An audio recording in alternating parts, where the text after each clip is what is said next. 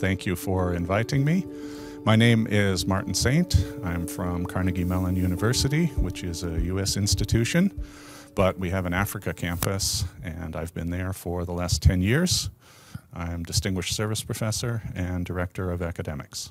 So if you think about Africa, over a billion people, and they have certain challenges. I think one of the biggest ones is lack of trust. And studies have shown that trust in society leads to society advancing more quickly and better quality of life for the people in society. Blockchain has the ability to bring trust to parts of society where that wasn't possible before. And if you think about uh, more developed countries, there are institutions, governments, uh, large corporations, and so forth. And they are often in Africa less trustworthy, less reliable. So blockchain really has the ability to bring that kind of trust and the kind of transparency that lead to advancements in society and the development of society.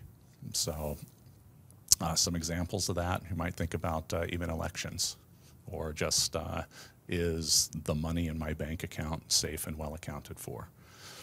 Another uh, example is digital identity. There are over a billion people in the world, many of them in Africa, that have no legal identity. And this locks them out of the traditional financial system, banking system. It locks them out of travel. It locks them out of healthcare. It locks them out of loans.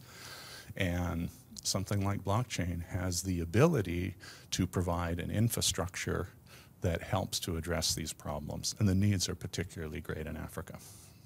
So some of them are obvious. So if blockchain is a mechanism by which you can solve problems and improve society, you need people that understand the capabilities of blockchain and are able to implement solutions on that blockchain.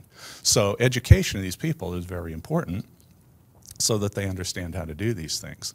But maybe in the larger sense, if we think about impact and we think about the fact that you want to make a positive difference in the world, then blockchain education becomes really important because you're training not only people that know how to do something, but that can train others.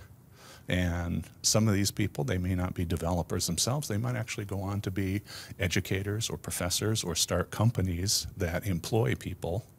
And when, uh, when we have that kind of multiplicative effect, it's almost like a stone in a pond. You can educate students, and they become the, the stone that creates the initial ripples, and those ripples expand, and then you have impact.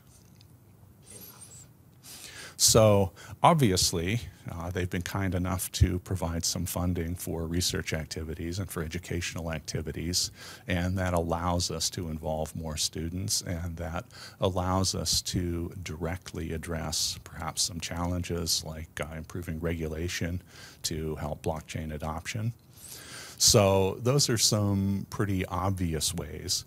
But one of the other big things that the ACE program enables is communities. And it means that we are in touch with other universities and students that are doing cool things on the blockchain and we can kind of learn from what they're doing and they can learn from what we're doing. We can share our experiences and together we contribute and together we make a lot more progress than we would if we were all working in a siloed manner.